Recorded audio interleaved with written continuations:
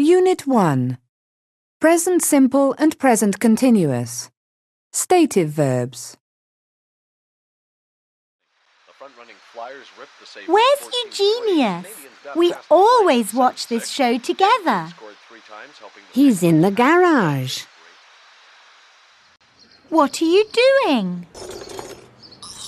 Well, Dax usually says he can't do everything because he's only got two arms. So I'm making two new arms for him.